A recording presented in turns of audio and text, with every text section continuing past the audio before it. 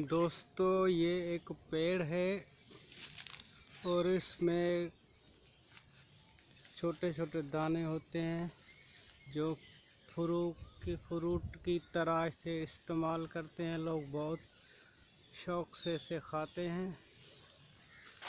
आप देखें इनको। बड़ा खूबसूरत पेड़ है ये। जिसे दोस्त और लोग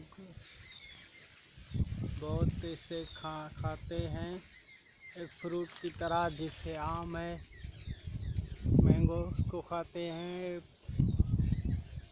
जैसे एप्पल को खाते हैं, इस तरह से इसे भी खाते हैं। आप देखें कितना खूबसूरत मंज़र है।